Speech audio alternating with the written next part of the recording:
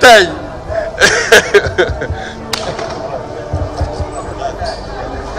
voilà ils sont là ils sont là ils sont là c'est F victime Yataï toujours et encore.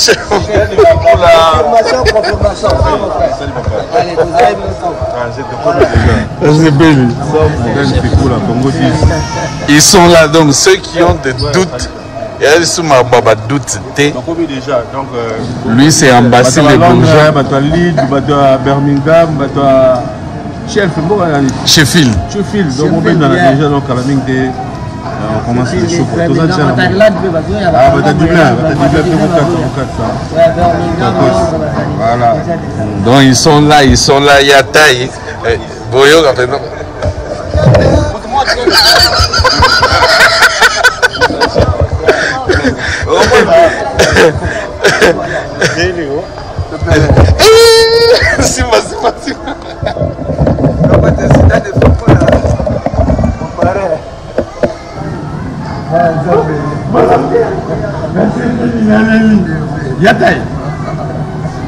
Leki abinda. Si. Pesa asi mayo kota. Ni kota kota. Voilà, voilà, voilà. Confirmation, confirmation sur Congo 10, Rango Tsasa, tout confirmé. wana ya ba musicien omoni bolokel grand animateur bachuman bango tu baale voilà voilà voilà voilà voilà toza na aéroport ya njili ambase ye wana njili ya poto ya manchester sante nde na clotire clip te na bloquer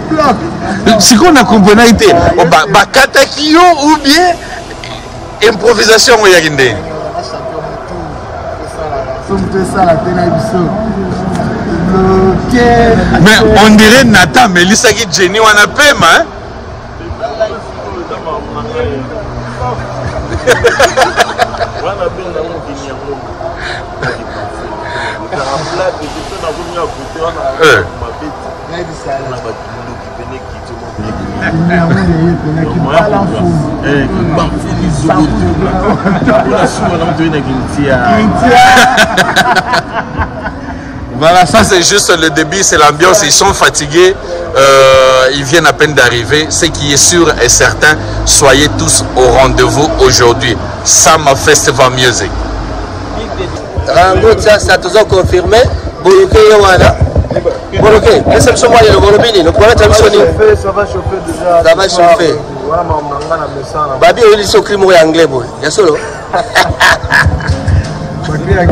ezali bakoyoka yango lelo un temps en tout cas voilà voilà Blaise Simbo était de la partie à côté de Boloke, l'aéroport à Manchester, donc vraiment confirmation de la soirée, Tokoningana, Tokobe Tabango, Bilokouana. Voilà, voilà.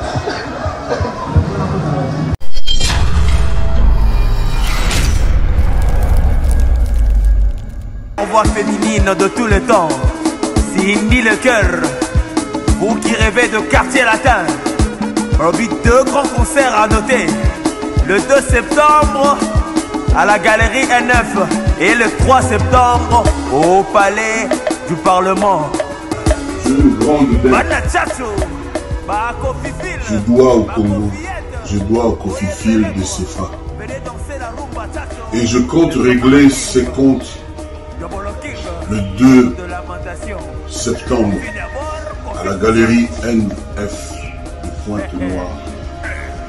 et payer mes dettes d'une aussi longue absence le 3 septembre à Brazzaville, Palais Je vous attends tous. Considérez ce concert comme une grande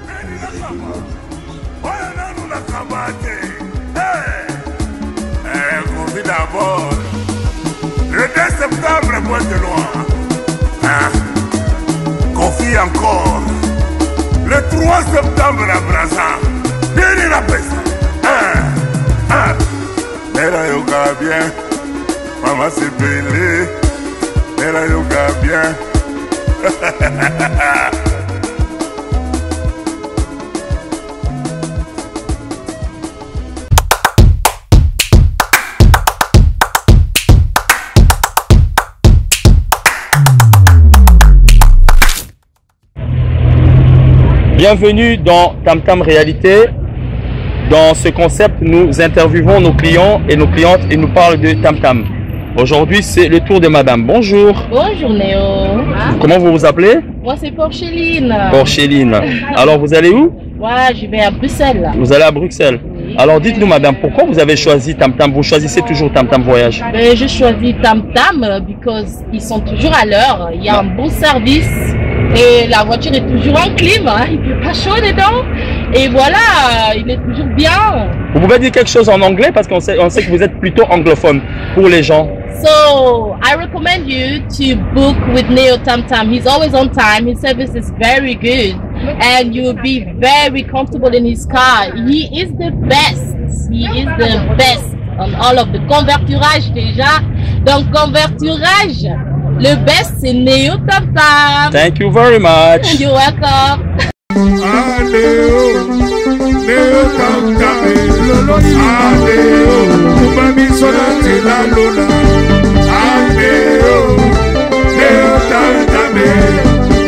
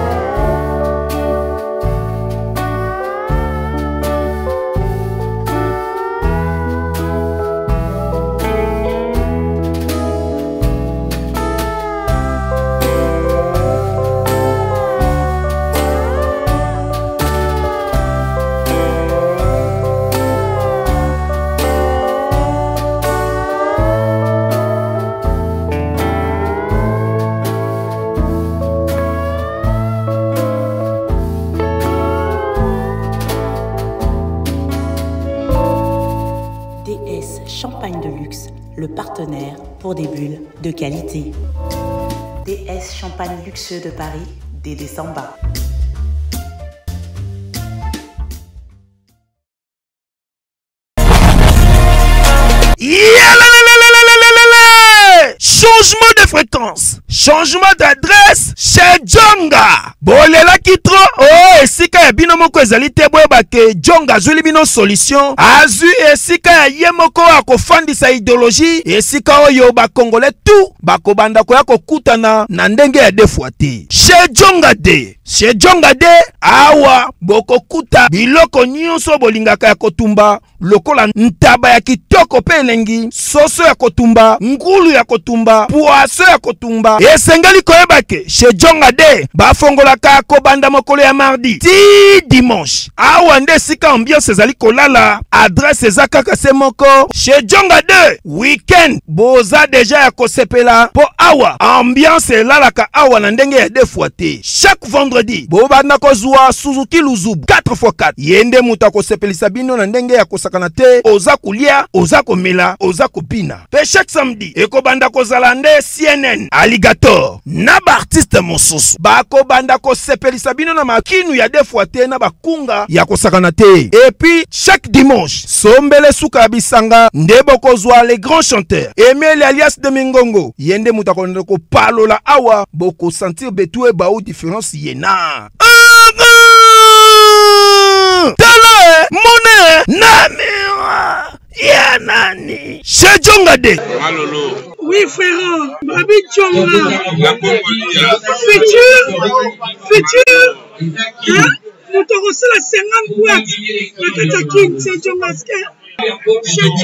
soki olingi osala bareservation obengi na banimero oyo mpe bakoservir yo joli kitoko shejonga de yango nde moboko ya ambiance na kati ya paris se naturelo soi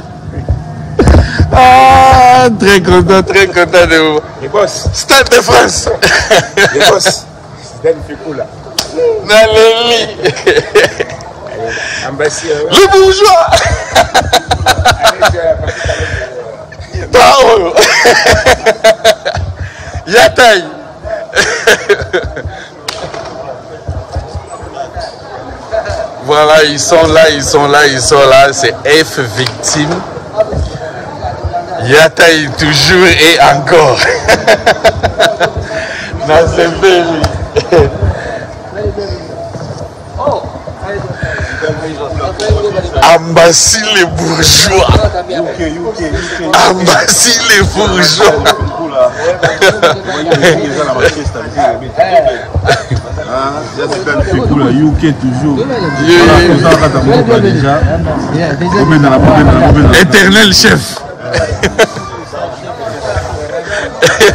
éternel chef pour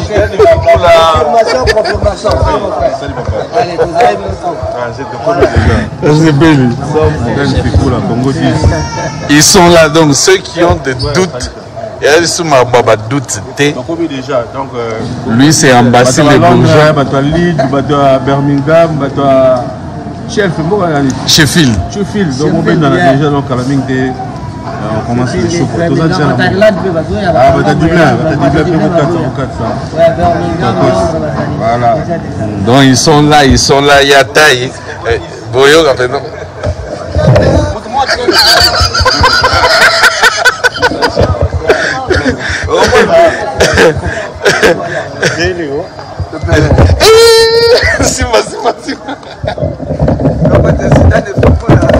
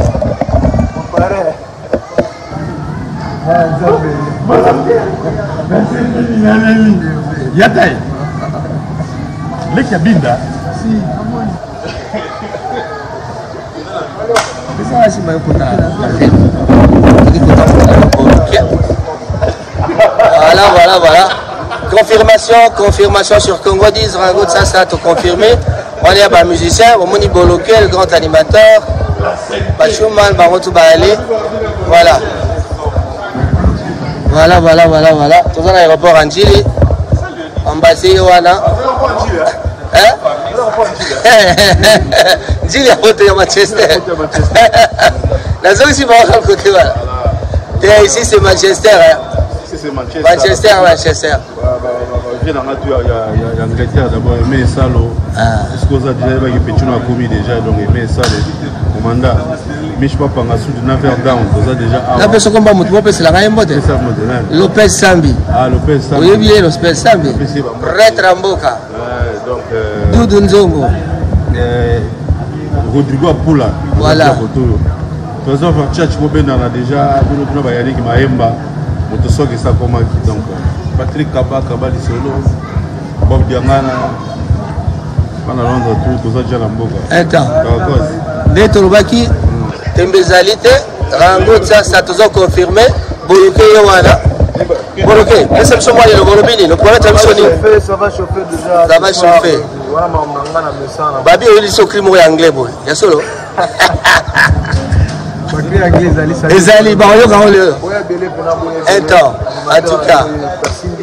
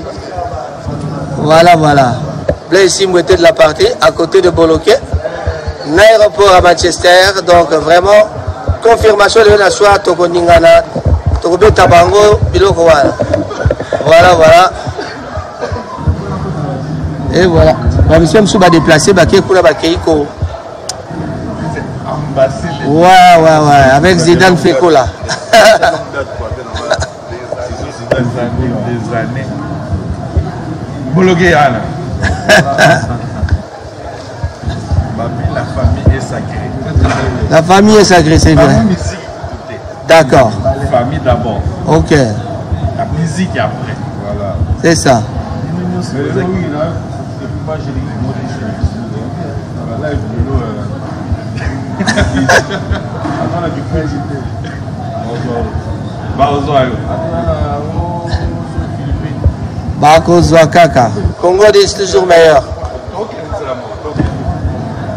bamosusu bakoki ofilme kuna ifo ozwa bango tokende boye po tala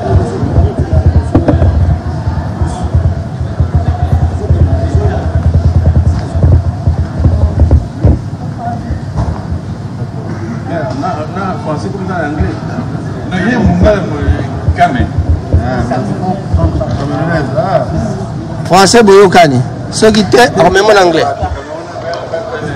voilà voilà prise de photo avec notre ami la camerounaise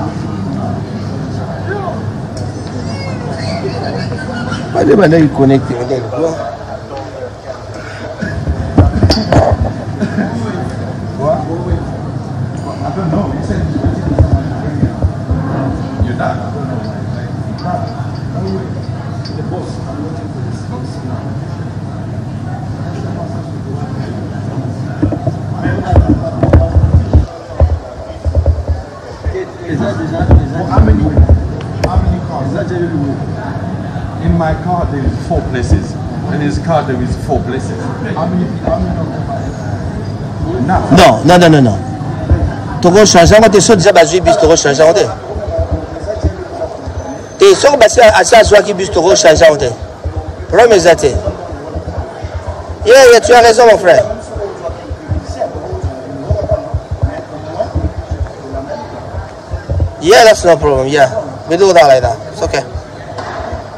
Mimi tungisa te. Toke libanda tozala ensemble kasi toke libanda. Toke boye bazali ya ba baza pa bo toke le boye. Nalanda bino na sima. Bon, toke libanda parce qu'il faut tozela bus. Voilà.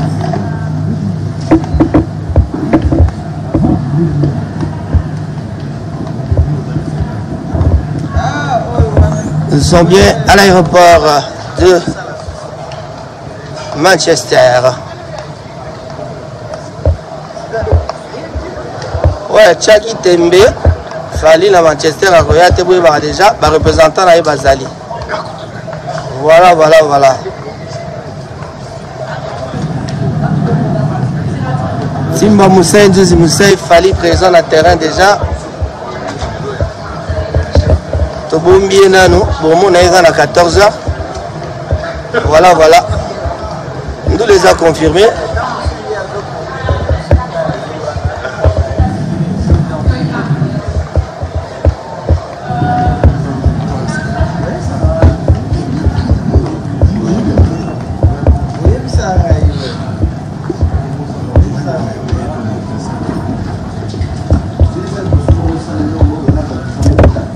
totelema biso manda biso na spona bus ezoya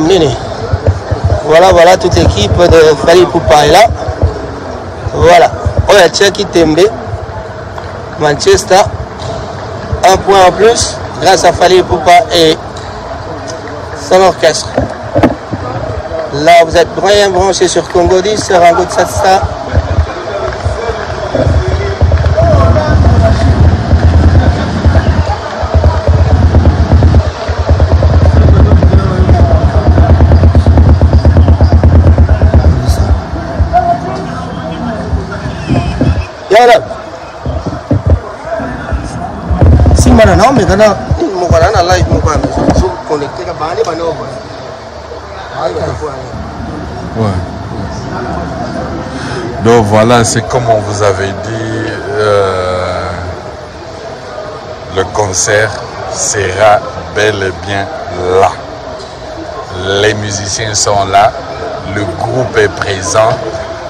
Donc vous avez tout le monde, tout le monde qui est présent. Euh, le bourgeois, chef éternel, donc toujours et encore.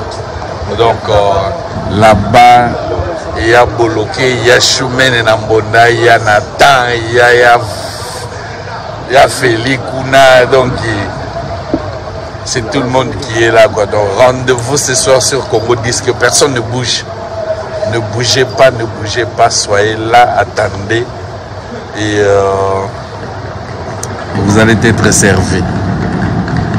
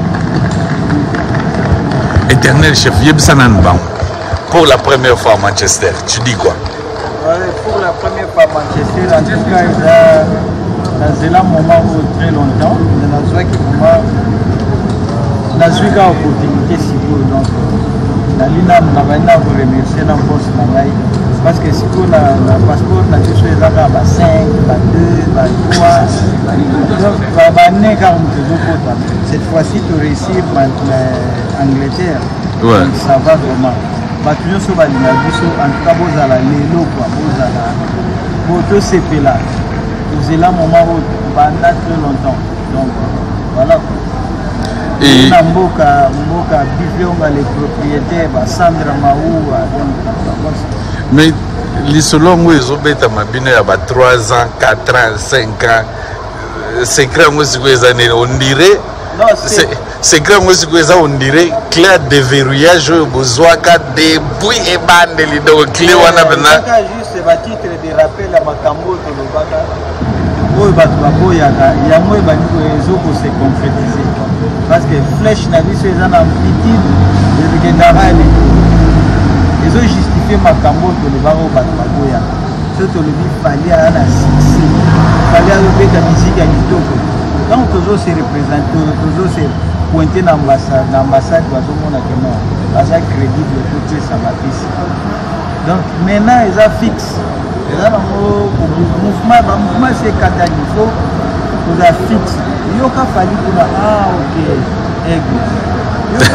Ah ok, Donc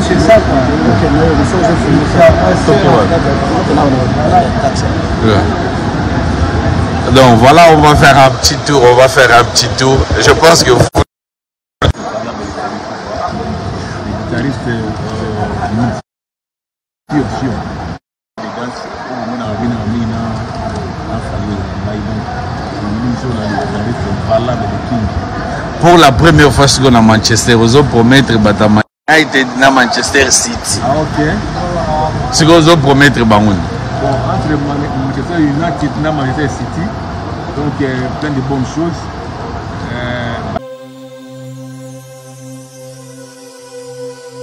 balobi tobosana te lisalisi fred otie koli lelo partout dans le monde lobi nango bazwi otie lelo na paris lobi na kini bazwi otie na paris moto etats-unis azwi otie bino babi ema meya eh? lisalisi fred ya ye mei ema meya otie koli lelo lobi tozwi toyeba valeur ya ema meya sia oyo alingaka vue de loin tindelanga na lisalisi fred otie lelo lobi nazwi ayona bana mokili mobimba bana afrique du sud bana paris donc 5 continent nyonso bobanga te soki omoni ka agence frete oyo eza ya fondation lisalisi ya ema meya tya biloko lelo lobi ozwi ah! ema meya quel miracle quel miskit tala conscient fo topesi yo biso nyonso mpona frete na biso toke na markade na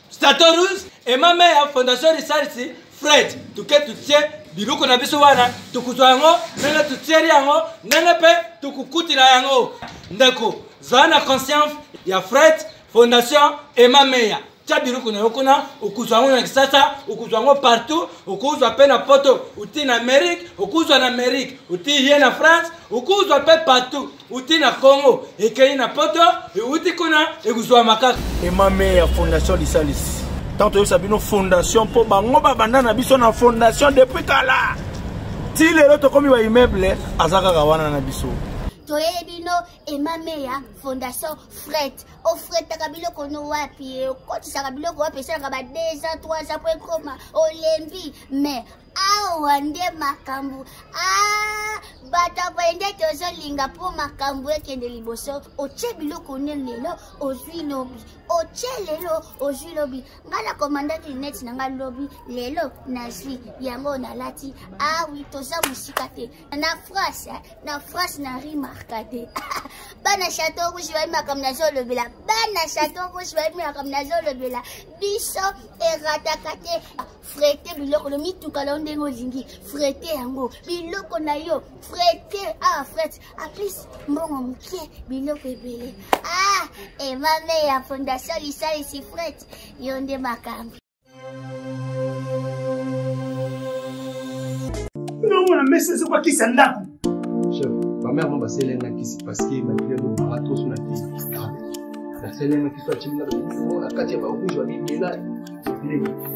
chef banda na bandi komela mwasi inane omoni bokufaka oyo oyo oyo biloko ezoboma bino ndela oyo lokola kisi ya ndako papa oyebi te ke laboratoire ya misine esene biso solution wuta kala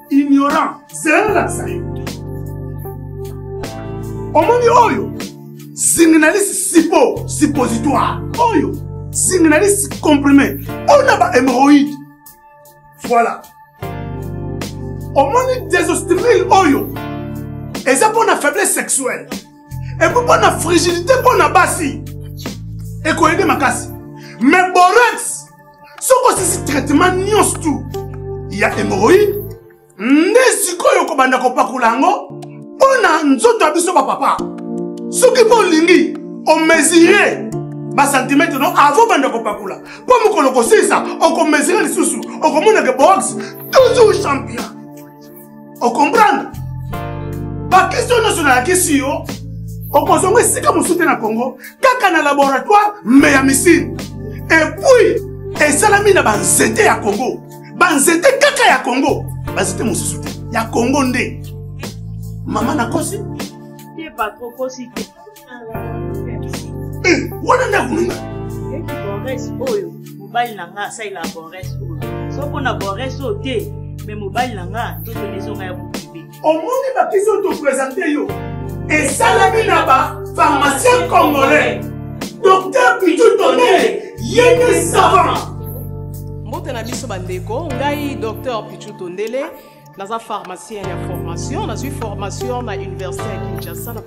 faculté ya pharmacie et puis nasali ba master na niveau ya université marien ngwabi mpe na niveau ya canada na transformation des agro ressources et puis préparation ya bacosmétique thérapeutique naturelle nazali koevre na laboratoire crmta oyo ezali laboratoire mmc spécialisé na production ya baphytomédicaments c'est-à-dire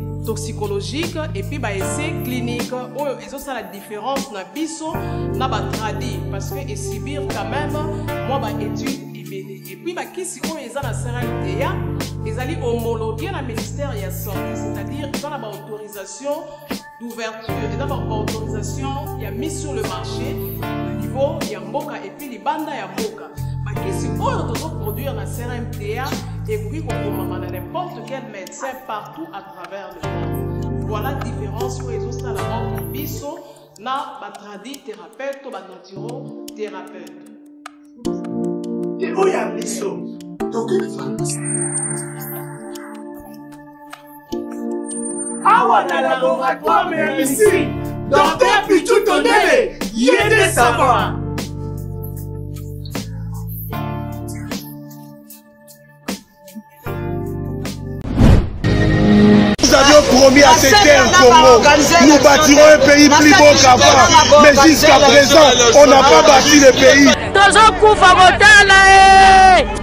Mes chers amis, entendre ces mots d'abandon et de ras-le-bol, observer dans l'âme congolaise la flamme patriotique qui s'éteint au fil du temps. Je me suis demandé, pourquoi un tel abandon Parce que notre pays vit une pauvreté très avancée. Parce que la jeunesse de mon pays est sans emploi, avec un taux de chômage dépassant les 85%.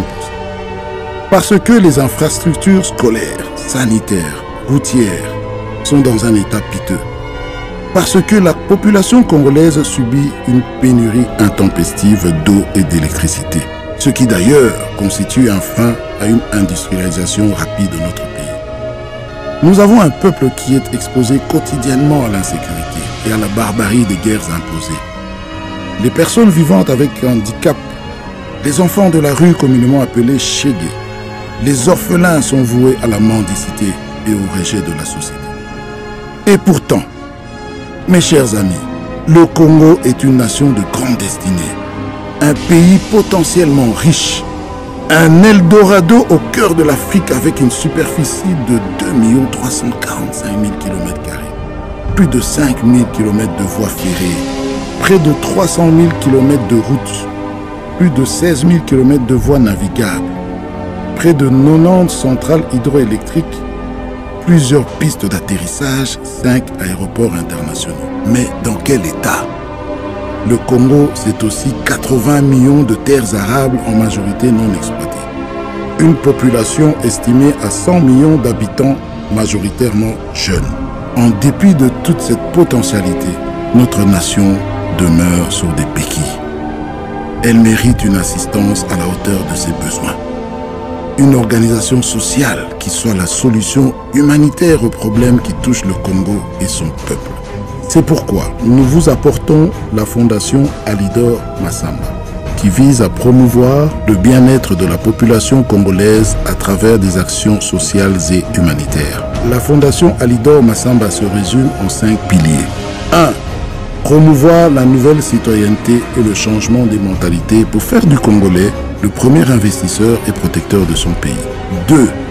Réhabiliter, moderniser des écoles et construire des centres de formation technique en vue de promouvoir l'éducation pour tous, en particulier pour la jeunesse.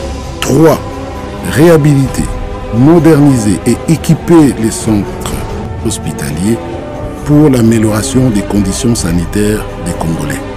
4 promouvoir l'autonomisation de la femme congolaise par la formation et l'accompagnement à l'entrepreneuriat dans l'agro-pastoral, la coupe et couture et d'autres domaines techniques. 5. Promouvoir l'épanouissement de la jeunesse par la création des centres de formation sportive, l'encadrement et promotion des talents. Le développement du Congo n'est pas l'affaire d'un seul homme nous n'avons que le Congo pour nous défendre et le Congo n'a que nous pour le défendre. Il ne tient qu'à nous d'offrir à nos enfants un monde meilleur. Il n'y a pas de fatalité. Laissons derrière nous le doute et le désespoir.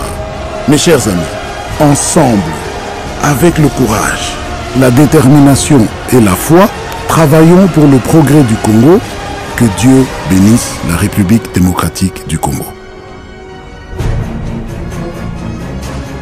spectacle ya bien baomona bino baspectacle oyo tobombeli bango mpona stade de marti le 29 octobre donc tobanda yango awa baspectacle ya bien epuis guitare ya ya bien oyo nabengaki nkwatu kwatu kwatu kwatu na ngunza donc makambo eza na kati ya soki ebandi ata ozalaki ndenge nini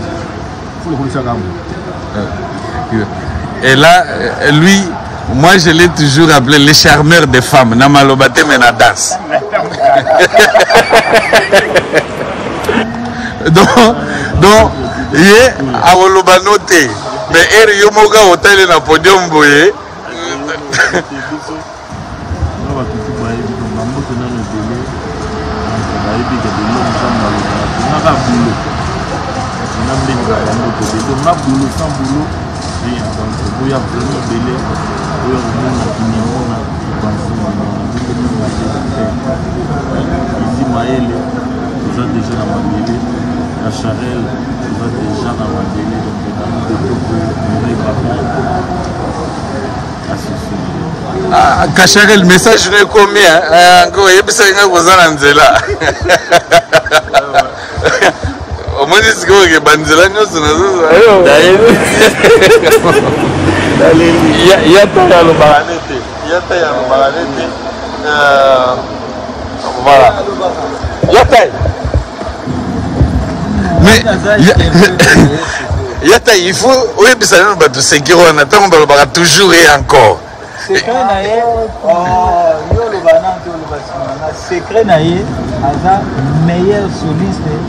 ya ba temps ebele ya ba galon ebele ya ba album ebele banda ya basali ebele ya ba double bercy et puis banda ba misusu basila to babetaka mpenza bisu te ye abetaka ti lelo concert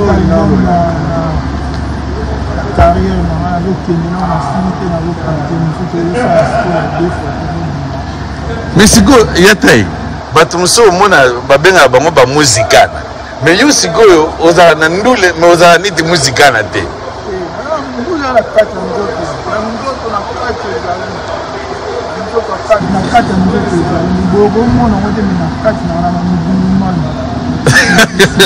ndule mai pende ya solo ya makila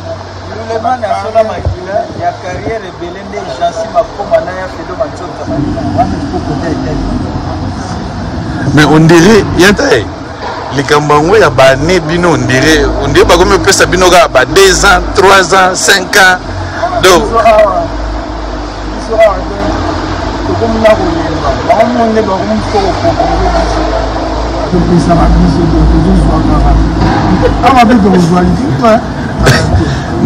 nauti otuna chef kuna en fait soki tolandeli biloko na bino nyonso banda ebandeli bolobaka bozwa cle ya deverrouillage bodeverrouille mais apparemment ere bodeverrouille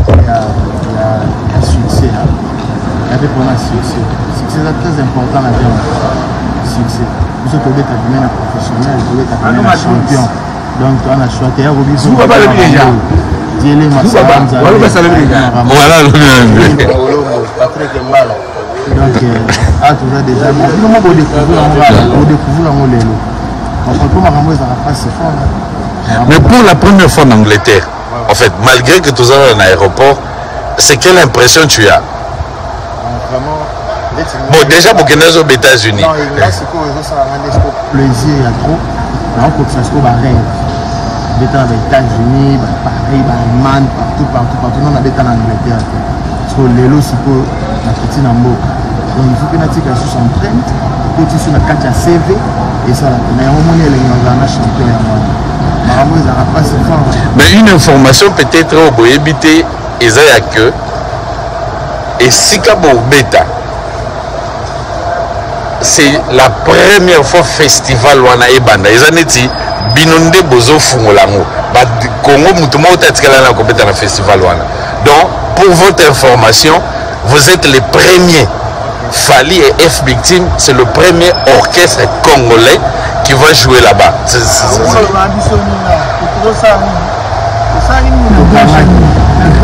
bofungolaki donc ezaka suite continuité